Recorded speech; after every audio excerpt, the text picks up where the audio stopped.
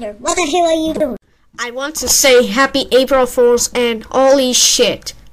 That's not fair. I said Happy April Fools. Say holy shit five times. Holy shit! Holy shit! Holy shit! Holy holy shit! I fucking knew. And you also, you call me holy shit? Yes. Fake animator, that's it. I'm calling your parents.